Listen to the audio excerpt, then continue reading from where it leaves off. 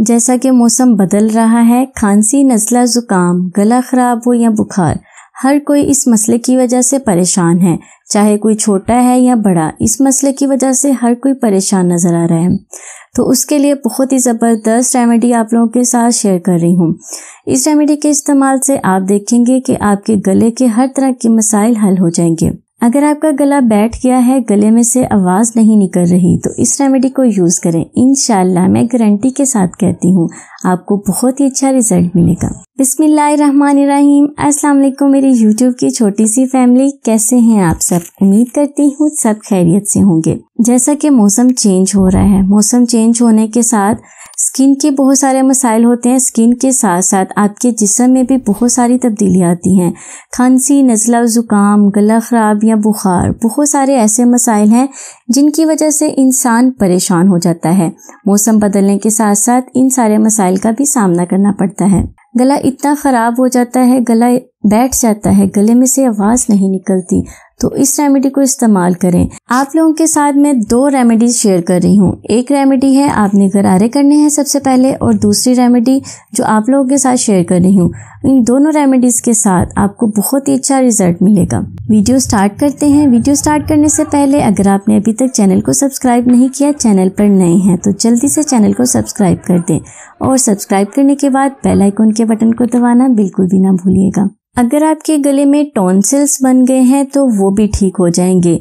बच्चा हो या बड़ा, मौसम बदलने के साथ साथ गला सबका खराब होता है। इस रेमेडी को 10 साल से बड़े बच्चे इस्तेमाल कर सकते हैं। तो फ़र्स्ट रेमेडी की तरफ़ चलते हैं। फ़र्स्ट रेमेडी में सबसे पहले आपने करने हैं गरारे। गरारे? गरारे जिसे हम गरारे बोलते हैं। गरारे करने हैं, उसके लिए आपने पानी बनाना है। पानी में आपने डालनी है दो से तीन चुटकी हल्दी।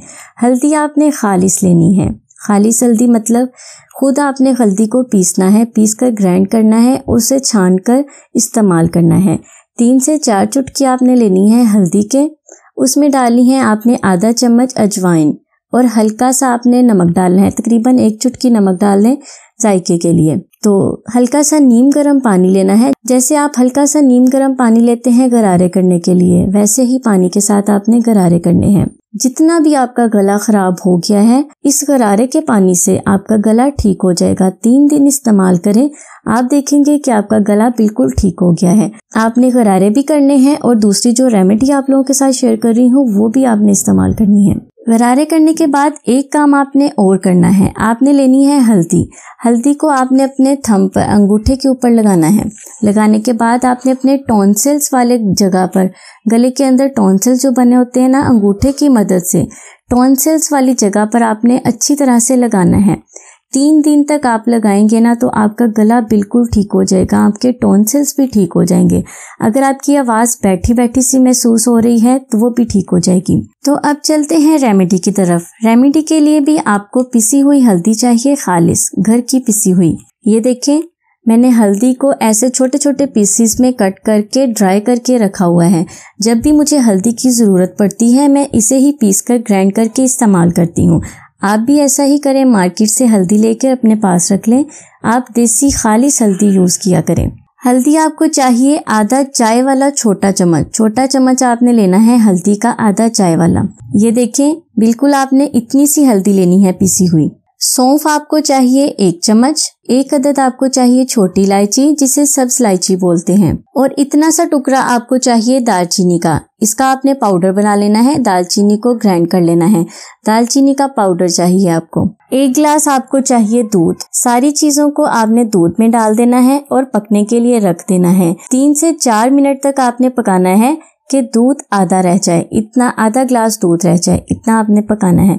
पकाने के बाद, सुबह को नाश्ता करने के दो घंटे बाद, आपने इस आधा ग्लास दूध को पीना है और रात को सोने से एक घंटा पहले आपने इसे पीना है। दिन में दो टाइम पीना है सुबह को और शाम को। आप देखेंगे कुछ बार के इस्तेमाल से ही आपका खांसी, नज़ला, ज़ुकाम और बुखार भी हो जाता है। अक्सर ऐसे होता है कि जैसे ही गला ख़राब होता है, बुखार हो जाता है। इन सारे मसाइल का हल आज की रेमेडी में मौजूद है। आपने इसे ज़रूर यूज़ करना है और दूसरों के साथ भी ज़रूर शेयर करना है। क्योंकि मौसम चेंज हो रहा है तो सबके साथ ये मसला हो रहा है। इसीलिए सबको इस रेमेडी की ज़रूरत है।